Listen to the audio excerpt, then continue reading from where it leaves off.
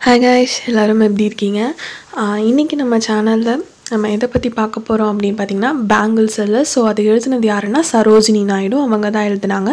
So இந்த போயமில் என்னென்ன விஷயங்கள் சொல்லியிருக்காங்க அது எப்படியெல்லாம் சொல்லியிருக்காங்க அப்படின்றத பற்றி பார்க்க போகிறோம் அதுக்கு முன்னாடி நம்ம சேனலை சப்ஸ்கிரைப் பண்ணாதவங்க சப்ஸ்கிரைப் பண்ணுங்கள் அப்படியே பக்கத்தில் இருக்க பெல் ஐக்கானையும் ப்ரெஸ் பண்ணுங்கள் அப்போ தான் நான் போடுற வீடியோஸ்க்கான நோட்டிஃபிகேஷன் உங்களுக்கு உடனே உடனே வந்து சேரும். நம்ம சேனலில் நம்ம ஒரு கிவ்அவே அனௌன்ஸ் பண்ணியிருந்தோம் இல்லையா? ஸோ அந்த கிவ்அவேல நம்ம என்ன கொடுக்குறதா சொல்லியிருந்தோம் அப்படின்னா நம்ம என்னைக்கு தௌசண்ட் ப்ளஸ் சப்ஸ்கிரைபர்ஸை ரீச் பண்ணுறோமோ அன்னைக்கு நம்ம சப்ஸ்கிரைபரில் ஒருத்தவங்கள ரேண்டமாக செலக்ட் பண்ணி அவங்களுக்கு Cosmic Byte H three wired gaming ஹெட்ஃபோன்ஸை தான் கிஃப்ட் பண்ணுறதா சொல்லியிருந்தோம். ஸோ அந்த கிவ்அவேல நீங்கள் பார்ட்டிசிபேட் பண்ணணும் அப்படின்னா நீங்கள் பண்ண வேண்டிய ஒரே விஷயம் இந்த வீடியோவை ஃபுல்லாக பாருங்கள் அண்ட் இந்த வீடியோவோட எண்டில் நான் கேட்குற ரெண்டு கொஷனுக்கு கரெக்டான ஆன்சரை கமெண்ட் பண்ணிங்க அப்படின்னா நீங்கள் தான் அந்த லக்கி வினராக இருக்க முடியும். ஸோ வாங்க வீடியோக்குள்ளே போகலாம் so bangle sellers bangle sellers எழுதுனது யார் அப்படின்னு பார்த்தீங்கன்னா சரோஜினி நாயுடு ஸோ இவங்க வந்து இந்த போயம்லாம் என்னென்ன விஷயத்த எப்படியெல்லாம் சொல்லியிருக்காங்க எப்படியெல்லாம் டிஸ்கிரைப் பண்ணியிருக்காங்க அப்படின்றது. ஸோ நமக்கு தோணும் வளையலுக்கெல்லாம் ஒரு போயமா அப்படின்ற மாதிரி. ஆனால் இந்த போயமில் நிறைய விஷயங்கள் வந்து மற்றவங்களுக்கு அதாவது முக்கியமாக கேர்ள்ஸ்க்கு ரொம்ப பிடிச்ச விஷயங்களாகவே வந்து இந்த இடத்துல சொல்லியிருப்பாங்க. ஸோ அதெல்லாம் என்னென்ன அப்படின்னு நம்ம பார்க்கலாம். ஃபஸ்ட்டு ஆத்தர் பற்றினா இன்ட்ரோ பார்த்துக்கலாம் ஸோ சரோஜினி நாயுடு அப்படின்றவங்க எங்கே பிறந்தாங்க அப்படின்றதெல்லாம் தெரிஞ்சுப்போம். ஸோ சரோஜினி சத்தோபதியா நாயுடு அதான் அவங்க ஃபுல் நேம் ஸோ அவங்க வந்து தேர்ட்டீன்த் பிப்ரவரி எயிட்டீன் செவன்ட்டி நைனில் ஹைதராபாத்தில் பிறந்தாங்க. ஸோ அவங்க ஒரு பொலிட்டிக் ஆக்டிவிட்டிஸ்டாகவும் இருந்திருக்காங்க. அதே சமயத்தில் ஒரு போயட் அதுக்கப்புறம் ஒரு ரைட்டராகவும் இருந்திருக்காங்க. ஸோ இவங்க தான் நம்மளோட கண்ட்ரி சுதந்திரம் வாங்கினதுக்கு அப்புறமேட்டுக்கு ஃபஸ்ட்டு ஃபஸ்ட்டு இருந்த கவர்னர் ஜென்ரல் அப்படின்னு சொல்லலாம். ஸோ நைன்டீன் ஃபார்ட்டி செவனில் அவங்க தான் ஃபஸ்ட்டு ஃபஸ்ட்டு கவர்னராக இருந்தாங்க. அதுக்கப்புறமேட்டுக்கு அவங்க நைன்டீன் டுவெண்ட்டி ஃபைவ்ல இன்னொரு பெரிய பொ பொறுப்புலையும் இருந்திருக்காங்க. என்ன அப்படின்னா இந்தியன் நேஷ்னல் காங்கிரஸில் அவங்க பிரசிடெண்ட்டாகவும் இருந்திருக்காங்க. ஸோ இவங்க தான் வந்து ஒரு ஃபஸ்ட்டு விமன் நம்ம நாடு சுதந்திரம் வாங்கினதுக்கு அப்புறமேட்டுக்கு கவர்னராக இருந்த முதல் இந்திய பெண்மணி அப்படின்ற பெருமை வந்து சரோஜினி நாயுடு தான் வந்து சேரும்.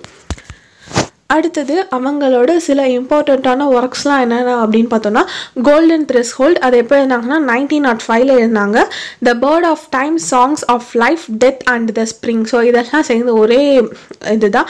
அது அந்த ஒர்க்கை எப்போ எழுதுனாங்கன்னா நைன்டீன் டுவெல் எழுதுனாங்க. The broken wing songs of love death and the spring including the gift of India so இதை வந்து எங்கன்னா ஒரு பப்ளிக்கில் தான் வந்து இந்த ஒரு விஷயத்தை இந்த ஒரு ஒர்க்கை வந்து வெளிப்படுத்தினாங்க. ஸோ நைன்டீன் ஃபிஃப்டீனில் பண்ணாங்க. அடுத்தது Muhammad Jinnah and ambassador of unity அதை வந்து நைன்டீன் நைன்டீனில் எழுதினாங்க. அதுக்கடுத்தது scripted flute songs of India nineteen forty த்ரீல எழுதினாங்க. The feather of dawn nineteen sixty ஒன்ல இருந்தாங்க the Indian weavers nineteen seventy ஒன்ல இருந்தாங்க ஸோ இவங்களோட ஒர்க்ஸ்லாம் மேக்ஸிமம் பார்த்தோன்னா உமனை போர்ட்ரே பண்ணுற விதமாகலாம் இருக்கும். அதுக்கப்புறம் கண்ட்ரியை போர்ட்ரே பண்ணுற விதம் அந்த மாதிரி சில விஷயங்களை போர்ட்ரே பண்ணுற மாதிரி தான் இவங்களோட ஒர்க்ஸ் எல்லாமே மோஸ்ட்டாக இருக்கும். அடுத்தது சரோஜினி நாயுடுவோட பர்த்டே தேர்ட் ஃபிஃப்டீன்த் ஃபிப்ரவரியை தான் நம்ம விமன்ஸ் டேவாக செலிப்ரேட் பண்ணுறோம் அதே மாதிரி இவங்க வந்து கைசர் ஐ ஹிந்த் அப்படின்ற ஒரு மெடலை வந்து பிரிட்டிஷ் கவர்மெண்ட் கிட்டேன்னு வாங்கியிருக்காங்க. ஸோ அந்த டைமில் வந்து பிளாக் அப்படின்ற ஒரு ஒரு விஷயம் வந்து இந்தியாவில் அதிகமாக பரவிட்டு இருந்த டைமில் அவங்க அந்த இடத்துல வந்து எந்த அளவுக்கு அவங்களோட பங்களிச்சாங்க அப்படின்றத பேஸ் பண்ணி தான் அவங்களுக்கு கைசர் ஐ ஹிந்த் அப்படின்ற ஒரு விருதை வந்து வழங்கியிருக்காங்க. ஸோ அவங்களோட போயட்ரி ரைட்டிங் ஸோ அவங்க சூப்பராக போயம்ஸ் எழுதுவாங்கல்ல அந்த போயட்ரி ரைட்டிங்காக தான் அவங்களுக்கு நைன்டீன் கேர்ள் ஆஃப் இந்தியா அப்படின்ற ஒரு விருது கிடச்சிச்சு. ஸோ அதுதான் வந்து அவங்களோட பெயராகவுமே நாளடைவில் மாற ஆரம்பிச்சிச்சு அப்படின்னு கூட நம்ம சொல்லலாம். ஸோ அவங்கள வந்து சரோஜினி நாயுடு அப்படின்னு சொல்கிறத தாண்டி நிறைய பேர் அவங்கள சொல்கிறது நைன்டீன் கேர்ள் ஆஃப் இந்தியா அப்படின்ற மாதிரி தான் வந்து சொல்லுவாங்க. ஸோ நம்ம இதை வந்து சின்ன கிளாஸ்லேருந்து அதாவது ஒரு ஃபஸ்ட்டு அந்த மாதிரி ஸ்டாண்டர்ட்ஸ்லேருந்தே நம்ம வந்து இதை பற்றி படிச்சிருப்போம். ஸோ அவங்க எப்போ இறந்து போனாங்க அப்படின்னா அவங்களோட எழுபது வயசில் nineteen forty nine March second இறந்து போனாங்க. ஸோ எங்கே அப்படின்னு பார்த்தீங்கன்னா லக்னோவில் தான் இறந்து போனாங்க. இந்த பேங்கிள் செல்லர் போயம் அதில் என்னென்ன சொல்லியிருக்காங்க அப்படின்றத நம்ம பார்ப்போம். ஸோ பேங்கிள் அப்படின்றது ஒரு ஃபீமேல் விஷயங்களை ஃபீமேல் லைஃப்பை டிஸ்கிரைப் பண்ணுற விஷயங்கள். ஸோ ஃபீமேலோட ஸ்டேஜஸ் அப்படின்னு நம்ம பார்த்தோன்னா வந்து பருவங்கள் அப்படின்னு நம்ம சொல்லுவோம். ஸோ அந்த மாதிரி அவங்களோட பருவங்களில் வளையல் மூலயமா எடுத்துக்கூறதா தான் வந்து இந்த பேங்கிள் சிலஸ் போயம் இருக்குது அப்படின்னு சொல்லலாம். அதே சமயத்தில் இந்தியன் கல்ச்சரை அண்ட் இந்தியன் ட்ரெடிஷன் என்னென்னவோ அதெல்லாமே வந்து மற்றவங்க இந்த காலத்தில் இருக்கவங்களுக்கு சொல்கிற விதமாக ஸோ இப்போது எல்லாருமே வந்து நம்மளோட ட்ரெடிஷனை மறந்துட்டு வர டைமில் இதை நம்ம படிக்கும்போது ஸோ நம்ம ட்ரெடிஷனில் இப்படி நல்ல விஷயங்கள் ஸோ இந்த மாதிரி பேங்கிள் இந்த மாதிரி பர்சன்ஸ் போடுவாங்க அப்படின்றத நம்மளால் தெரிஞ்சுக்க முடியும். அவங்க இப்போ போயம்குள்ளே போகலாம் ஸோ ஃபஸ்ட் இந்த போயமில் மொத்தம் ஃபோர் ஸ்டான்சஸ் இருக்குது ஸோ ஃபஸ்ட்டு ஸ்டான்ஸா என்ன அப்படின்னு பார்க்கலாம். Bangle sellers are who who bear our shining loads to the temple fair, who will buy this delicate, bright, rainbow tinted circles of light, lustrous token of radiant lives for happy daughters and happy wives. So இதுக்கான explanations என்ன அப்படின்றத பார்க்கலாம். So இந்த இடத்துல first வந்து poet வந்து அவங்களோட ஸ்பீக்கரை இன்ட்ரடியூஸ் பண்ணுறாங்க ஸோ அவங்க யார் அப்படின்னா ஒரு வளையல் வித்துட்டு இருக்கவங்க தான். அவங்க எங்கே வளையல் வித்துட்ருக்காங்க அப்படின்னா ஒரு டெம்பிள் ஃபேஸ் ஒரு திருவிழா டைமில் வந்து வளையல்கள் வ- வித்துட்டு இருக்காங்க. ஸோ இந்த இடத்துல அவங்க ஒரே ஒரு பர்சனாக தான் இருக்காங்க. அவங்க ஒரு சிங்குலர் பர்சனாகிட்டு அந்த இடத்துல அவங்க எந்த மாதிரி அந்த பேங்கிள்ஸ் எல்லாம் சேல் பண்ணுறாங்க என்ன மாதிரி எல்லாம் சொல்கிறாங்க அப்படின்றது தான் டோட்டலாக சொல்ல போகிறாங்க ஸோ ஃபஸ்ட்டு அவங்க என்ன சொல்கிறாங்க அப்படின்னா என்னோடய வளையலெல்லாம் யார் வாங்க போகிறீங்க என்னோடய வளையல் எல்லாம் பார்க்கறதுக்கு ரொம்ப பிரைட்டாக அழகாக இருக்குது ஸோ இதை வந்து இந்த மாதிரி அழகாக இருக்கிறது ஏழு வானவில்ல இருக்கக்கூடிய ஏழு நிற நிறம் இருக்கு இல்லையா? ஸோ அந்த மாதிரி ஏழு நிறங்கள் கொண்டு என்னுடைய அழகான வளையல்களை யார் வாங்க போறீங்க? அப்படின்ற மாதிரி ஒரு கொஷின் ரைஸ் பண்ணுற மாதிரி தான் அவர் விற்கிறாரு ஸோ இந்த இடத்துல நம்ம நார்மலாக விற்கிறத தாண்டி இந்த மாதிரி ஒரு விஷயத்தை இது பண்ணோம்னா ஓகே அப்படி என்னதான் இருக்குது அப்படின்னு பார்ப்பாங்க இல்லையா? ஸோ அந்தக்காகவே இந்த மாதிரி விற்றாங்களோ என்னமோ நமக்கு தெரியாது. அதுக்கடுத்தது என்ன சொல்லியிருக்காங்க அப்படின்னா ஸோ இந்த இடத்துல வந்து ஒரு சிங்கிள்ஸ் சிங்கிளான ஒரு ஸ்பீக்கராக இருந்துட்டு ஸோ அந்த பேங்கில் வந்து ஒரு லஸ்டரஸ் டோக்கனாக ஒரு டோக்கன் ஆஃப் லவ்வாக வந்து இந்த இடத்துல வந்து எக்ஸ்பிரஸ் பண்ணி இந்த ஃபஸ்ட்டு ஸ்டான்ஸ் அவர் முடிச்சிருப்பாங்க. ஸோ இந்த இடத்துல அவர் என்ன சொல்கிறாரு அப்படின்னா நான் வச்சுருக்க பேங்கிள்ஸ் எல்லாமே ரொம்ப பிரைட் அண்ட் நல்ல கலர்ஃபுல் பேங்கிள்ஸ் ஸோ வானவில்ல இருக்கக்கூடிய ஏழு வண்ணங்கள் கொண்ட ஒரு வளையம் தான். ஸோ வானவில் வந்து வளைஞ்சிருக்கல. அந்த வானவில்லையே வளைச்ச நான் ஒரு வ ஒரு வளையல்களாக நிறைய வளையல்களை நான் வச்சுருக்கேன். ஸோ இதெல்லாம் யார் வாங்க போகிறீங்க இது எல்லாமே ஒரு டோக்கன் ஆஃப் லவ் ஸோ இதை நீங்கள் வாங்கி உங்களோட சில்ட்ரன்ஸ்க்கோ உங்களோட டாட்டருக்கோ இல்லை உங்களோட ஒய்ஃபுக்கோ யார் கொடுக்க போகிறீங்க அப்படின்ற மாதிரி தான் சொல்லியிருக்காங்க. அதுக்கடுத்தது second stanza some are meet for a maiden's wrist silver and blue as the mountain some are flushed like the buds the dream on the tranquil brow of woodland steam some are a glow with the bloom that cleaves. To the limpid glory of new born leaves so இதுக்கான explanations என்ன அப்படின்னு பார்த்தோம் அப்படின்னா இவர் என்ன சொல்கிறாருன்னா so first வந்து maidens அவங்களுக்காக தான் செகண்ட் ஸ்டான்ஸால் ஃபஸ்ட்டு மெய்டன்ஸ்க்காக சொல்லியிருக்காங்க. ஸோ மெய்டன்ஸ் யார் அப்படின்னா வெயிட்டிங் ஃபார் மேரேஜ் அப்படி இருக்கவங்க தான் வந்து மெய்டன்ஸ் அப்படின்னு சொல்லுவாங்க.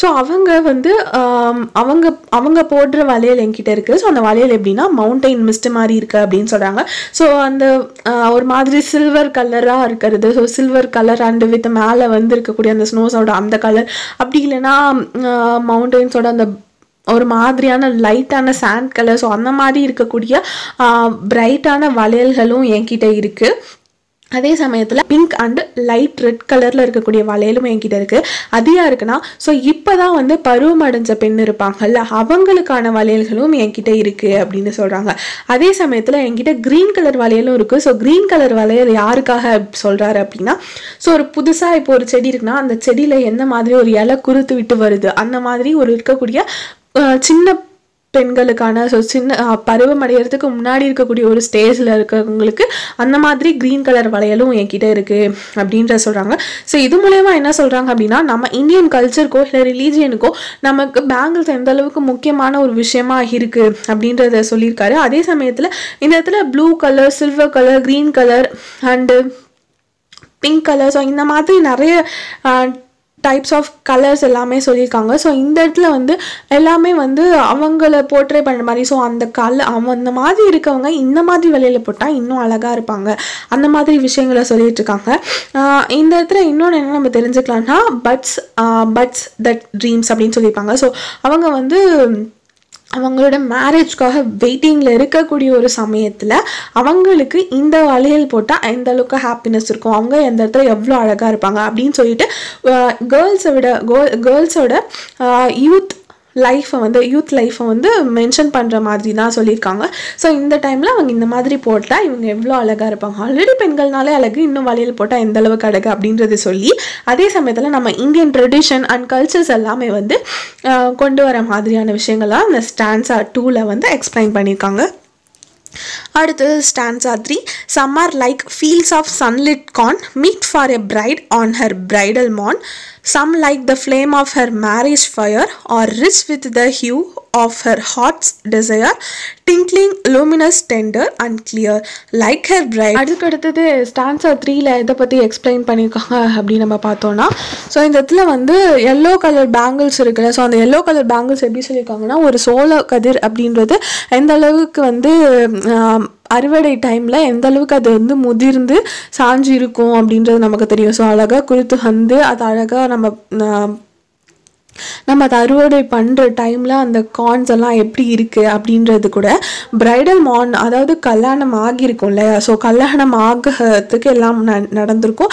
ஸோ கல்யாணம் ஆக போகிற ஸ்டேஜில் இருக்கவங்க அந்த மாதிரி எல்லோ கலர் பேங்கிள்ஸை போட்டு அவங்க இந்த அளவுக்கு அழகாக இருப்பாங்க அப்படின்றது சொல்லியிருப்பாங்க. ஸோ அதே மாதிரி சிலது வந்து பிரைட் ரெட் கலர்லேயும் வச்சுருக்காங்க. ஸோ அவங்க அது எதுக்காக அப்படின்னா ஒரு மேரேஜ் ஆனால் இப்போ தான் மேரேஜ் ஆகினா ஒரு ஸ்டேஜில் இருக்காங்க. ஸோ மேரேஜ் ஆகிட்டு அந்த மாதிரி இப்போ ஒரு starting new life starting new marriage லைஃப்பில் இருக்கவங்களுக்கு அந்த பிரைட் ரெட் கலரும் என்கிட்ட இருக்குது அப்படின்னு சொல்கிறாங்க ஸோ இந்த ரெட் கலர் பேங்கிள்ஸ் வந்து விமென்ஸோட ஹார்ட்டை வந்து டிசைர் பண்ணுற ஒரு விஷயமாக இருக்குது அதே சமயத்தில் அது ரொம்ப பல பலன்னு இருக்குது ரொம்ப கிளியரான ஒரு விஷயமா இருக்குது வெளிச்சத்தை தரக்கூடிய ரொம்ப பளிச்சுன்னு இருக்கக்கூடிய ஒரு பேங்கிள்ஸாக தான் இந்த லைட் ரெட் கலர் இருக்குது அப்படின்றது சொல்லியிருக்காங்க. ஸோ ஸோ அதே சமயத்தில் இந்த இந்த எல்லோ கலர் வளையலும் சரி அதே மாதிரி இந்த ரெட் கலர் வளையலும் சரி அவங்களோட நியூ லைஃப் பார்ட்னர் கூட அவங்க ஸ்டார்ட் பண்ண போகிற நியூ லைஃபுக்கான ஒரு பிகினிங்காக இருக்கும் அப்படின்ற மாதிரி சொல்லியிருக்காங்க. ஸோ அவங்க பேரண்ட்ஸை விட்டுட்டு அவங்க அவங்க ஹஸ்பண்ட் கூட போகிறாங்க அப்படின்ற சமயத்தில் அவங்களுக்கு இருக்கக்கூடிய சாரோஸ் என்ன மாதிரி இருக்கும் அப்படின்ற விஷயத்தையும் இந்த இடத்துல மென்ஷன் பண்ணியிருப்பாங்க. ஸோ அந்த வளையல் அப்படின்றது அவங்களோட சிரிப்புக்கு பின்னாடியும் அதே இருக்கணும் அண்ட் அவங்களோட கண்ணீருக்கு பின்னாடியும் அதே இருக்கணும் அப்படின்ற மாதிரி தான் இடத்த சொல்லியிருக்காங்க. ஸோ இந்த இடத்துல என்னத்தை மென்ஷன் பண்ணியிருக்காங்க அப்படின்னா ஸோ நார்மலாக ஒரு பொண்ணு வந்து அவங்க வீட்டிலேருந்து ஒரு சின்ன பொண்ணாக இருந்து அதுக்கப்புறம் ஒரு பருவம் வந்து அதுக்கப்புறமேட்டுக்கு வந்து ஒரு மேரேஜ்க்காக வெயிட் பண்ணிட்டு இருந்து அதுக்கப்புறம் மேரேஜ் நடக்க போகுது அப்படின்ற ஒரு ஸ்டேஜ் வந்து மேரேஜ் நடந்து அவங்க ஹஸ்பண்ட் வீட்டுக்கு போகிறாங்க அப்படின்ற ஸ்டேஜஸ் வரைக்குமே உமனோட லைஃப்பில் அவங்க என்னென்ன ஸ்டேஜஸை கிராஸ் பண்ணி வந்துட்டு இருக்காங்க அப்படின்றது தான் இந்த ஸ்டான்ஸா த்ரீல சொல்லியிருக்காங்க stanza four some are purple and gold flecked grey for she who has journeyed through life midway whose hands have cherished whose love has blessed and cradled fair sons on her faithful breast and serves her whole household in fruitful pride and worships the god at her side. So இதுக்கான explanations என்ன? Stanza of ஃபோர்க்கான explanations என்ன அப்படின்னா so இது ஏதாவது ஒரு final ஸ்டான்ஸாக இருக்க போது இந்த தடவை பேங்கிள் செல்லர் அப்படின்ற அவர் வந்து இந்த தடவை அவரோட வளையலுக்கான அட்வர்டைஸ்மெண்ட்டாக மாதிரி கொடுத்துட்டு அதே சமயத்தில் ஃபீமேலோட ஸ்டேஜஸையும் அந்தளவுக்கு சொல்லியிருந்தாங்க. அந்த மாதிரி இப்போ அவர் என்ன லாஸ்ட்டாக சொல்கிறாரு அப்படின்னா பர்பிள் கலர் அண்டு கோல்டு கலரை பற்றின விஷயங்களை சொல்கிறாங்க ஸோ இந்த ரெண்டு கலரும் வந்து மிடில் ஏஜஸ் ஆஃப் விமன் அப்படின்னு சொல்கிறாங்க so middle ages of women அப்படின்னும் போது அவங்க மேரிட் ஆகிட்டு அதுக்கப்புறமா அவங்க ஸ்டார்ட் பண்ணியிருக்கக்கூடிய ஒரு லைஃப் ஸோ மேரிட் ஆகி ரொம்ப டைம் ஆன டைம் அதுக்கப்புறமேட்டுக்கு அவங்களுக்கு குழந்தைங்க பிறந்து அந்த குழந்தைங்கள வளர்த்து ஸோ அந்த குழந்தைங்கள வந்து நல்லா க்ரோ பண்ணிகிட்ருக்க இருக்க ஒரு உமனுக்காக தான் இந்த purple and gold flecked grey கலரை வந்து சொல்லியிருக்காங்க. ஸோ அவங்க அவங்களுக்காகவும் அவங்களுக்காகவும் அவங்க ஃபேமிலிக்காகவும் அதாவது அவங்க குழந்தை அவங்க ஹஸ்பண்ட்காகவும் இருக்கிற சாக் அவங்களோட ஒரு லைஃப்பை வந்து கொடுத்துருக்காங்க இல்லையா? ஸோ அதுக்கான விதமாக டெடிகேட் பண்ணுறதா இந்த பர்பிள் அண்ட் கோல்டு கலர் இருக்குது ஸோ இந்த பேங்கிள்ஸ் எல்லாம் வந்து ஸோ அவங்களுக்கு ஏற்ற கரெக்டாக பர்ஃபெக்டான கலர் ஆஃப் பேங்கிள்ஸ் அப்படின்னு சொல்லலாம். ஏன் அப்படின்னா அவங்க அவங்களோட வீட்டு வேலையும் செஞ்சுட்டு அதே சமயத்தில் காட் கிட்ட ஒர்ஷிப் பண்ணிட்டு ஸோ நாமளும் நல்லா இருக்கணும் நம்ம வீட்டில் இருக்கவங்க நல்லா இருக்கணும் குழந்தைங்க நல்லா இருக்கணும் ஹஸ்பண்ட் நல்லா இருக்கணும் எல்லாருக்காகவும் வந்து ஒர்ஷிப் பண்ணுறாங்க ஒர்ஷிப் பண்ணிட்டு இருக்காங்கல்ல. ஸோ அதனால அவங்களுக்கு ஏற்ற வழியில தான் இந்த purple and gold flecked grey இருக்கும் அப்படின்னு சொல்கிறாங்க அதே சமயத்தில் என்ன சொல்கிறாரு அப்படின்னா ஸோ ஒரு ஒரு பெண்ணானவள் அதுக்கு அவரோட மேரேஜ்க்கு அப்புறம் ஒரு எந்த அளவுக்கு ஒரு குட் ஒய்ஃபாக நடந்துக்கிறாளோ அதே மாதிரி அவர் வந்து அந்த வளையலுக்கு உகந்தவ ஸோ அந்த வளையலுக்கு ஏற்றவ தான் அந்த ஸ்டேஜில் இருக்கக்கூடிய விமன் அப்படின்ட்டு சொல்கிறாங்க ஸோ அதே மாதிரி இந்த இடத்துல வந்து ஒரு ஹாப்பியான ஒரு இன்சிடெண்ட் அப்படின்னு நம்ம சொல்லலாம். ஸோ அவங்க வந்து ஒரு ஹாப்பியாக இருக்குவாங்க. நம்ம இந்த வலையில் அவங்களுக்கு நீங்கள் இந்த வலையில் வாங்கிட்டு போய் அவங்களுக்கு கொடுத்தீங்கன்னா அவங்க அந்த இடத்துல எவ்வளோ ஹாப்பியாக இருப்பாங்க அப்படின்ற விஷயத்த சொல்லி தான் இந்த போயமை டோட்டலாக முடிச்சிருக்காங்க. ஸோ இதில் நம்ம நம்ம என்ன தெரிஞ்சுக்கணும் மெயினாக அப்படின்னு பார்த்தோம்னா ஸோ விமென்ஸோட நிறைய ஸ்டேஜஸ் இருக்குது ஸோ அந்தந்த ஸ்டேஜஸில் எந்தெந்த விமன் எந்த மாதிரியான கலர் ஆஃப் பேங்கிள்ஸ் வியர் பண்ணணும் அப்படின்றது சொல்லியிருக்காங்க. அதே சமயத்தில் நம்மளாம் மறந்து போன ஒரு ட்ரெடிஷனான பேங்கிள்ஸ் அப்படின்றது நம்ம அதிகமாக யாரும் போடுறது கிடையாது. ஸோ அந்த மாதிரி இருக்கிற டைமில் நமக்கு இதை கேட்கும்போது ஸோ ஓகே இந்த மாதிரி கலர் கலராக இருக்கும்போது அதை நம்ம போட்டு பார்க்கலாம் அப்படின்ற ஒரு விஷயம் ஞாபகம் வரும். ஸோ அதே மாதிரி ட்ரெடிஷன்ஸை சொல்கிற விதமாக தான் இருந்திருக்கு ஸோ அதனால தான் இந்த போயமை வந்து நம்ம ரொம்ப கன்சிடர் பண்ண வேண்டிய ஒரு விஷயம். நம்ம மறந்து போன ஒரு ட்ரெடிஷனை நமக்கு திரும்பவும் உணர்த்தக்கூடிய ஒரு போயமாக தான் இந்த பேங்கிள் செல்லர்ஸ் இருக்கும். அடுத்தது நான் ஆல்ரெடி ஃபஸ்ட்டே சொல்லியிருந்தேன். ஸோ நம்மளோட Cosmic Byte H three wired gaming ஹெட்ஃபோன்ஸை நீங்கள் வின் பண்ணணும் அப்படின்னா நான் கேட்குற கொஷினுக்கு கரெக்டாக ஆன்சர் பண்ணணும்னு சொல்லியிருந்தேன். ஸோ அதுக்கான கொஷின் டைம் தான் இது. எந்த டேவை நம்ம விமன்ஸ் டேவாக செலிப்ரேட் பண்ணுறோம் which day was celebrated as women's day and second question என்னென்னா இந்த போயம் பேங்கிள்ஸ் எல்லாம் எந்த இடத்துல ஸ்டார்ட் ஆகுது? ஸோ எந்த டைமில் ஸ்டார்ட் ஆகுது அப்படின்றது தான் ஸோ இதுதான் கிவ்அவேக்கான ரெண்டு கொஷின்ஸ் ஸோ இந்த கொஷினுக்கான ஆன்சரை நீங்கள் தெரிஞ்சுக்கணும். இந்த வீடியோ ஃபுல்லாக பார்த்துட்டு அண்ட் இந்த வீடியோக்கான கரெக்டான ஆன்சரை கமெண்ட் செக்ஷனில் கமெண்ட் பண்ணுங்கள் definitely it will be the winner of the giveaway so thank you இது வரைக்கும் நம்ம சேனலை சப்ஸ்கிரைப் பண்ணாதவங்க சப்ஸ்கிரைப் பண்ணுங்கள் அப்படியே பக்கத்தில் இருக்க பெல் ஐக்கானையும் ப்ரெஸ் பண்ணுங்கள் அப்போ தான் நான் போடுற வீடியோஸ்க்கான நோட்டிஃபிகேஷன் உங்களுக்கு உடனே உடனே வந்து சேரும்.